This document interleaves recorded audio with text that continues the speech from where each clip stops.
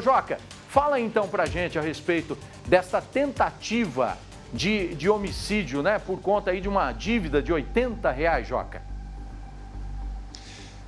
É quase inacreditável, né? Pensar que alguém tentou matar uma outra pessoa por causa de 80 reais. Mas isso aconteceu durante o fim de semana aqui em Birigui também. Um jovem de 22 anos, inclusive, já segue preso por ter tentado matar um outro jovem de 28 anos com o uso de uma faca.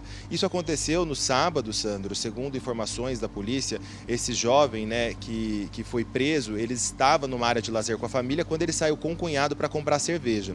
É, nesse meio tempo, o cunhado ligou para a irmã da, do jovem preso, dizendo que é, do, do, do, do, jovem que ele havia é, sido é, recebido uma facada, na verdade, da vítima.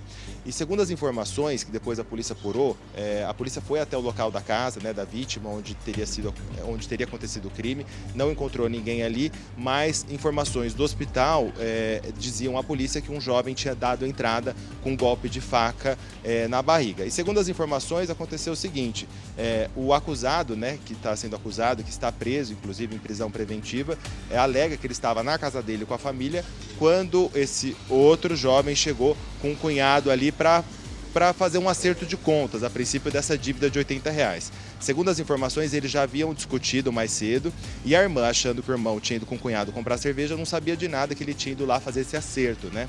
E aí, no meio dessa confusão toda, todas essas pessoas, esses três envolvidos, acabaram entrando ali numa briga corporal, quando, segundo o acusado, o, a vítima teria tirado uma faca. Então, em legítima defesa, ele acabou conseguindo tirar a faca e acertou é, é, a vítima ali na barriga.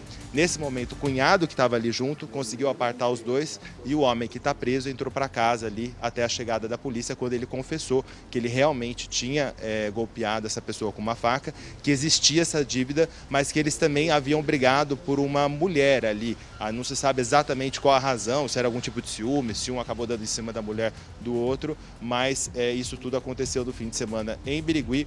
O homem segue preso né, em prisão preventiva e a vítima não morreu, segue internada no hospital aqui de Birigui, em estado grave, viu, Sandro? Ô, ô Joca, o porquê dessa, vi, dessa é, dívida, você não tem essa informação?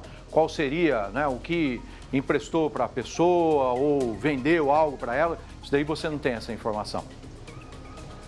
Não, Sandro, nós não temos essa, essa informação. Inclusive, só para corrigir, é, o homem que foi golpeado, ele segue internado, ele não está em estado grave mais, deu entrada em estado grave, ele está em observação, mas segue internado para poder acompanhar, né? Porque afinal de contas, um ferimento na barriga pode ter com outras complicações, infecções, enfim. Mas o, o, o, o que envolvia ali essa, essa dívida de 80 reais, a gente não tem essa informação, mas se eu apurar, eu trago para você e para os nossos telespectadores. Tá certo. Obrigado, Joca, pelas informações.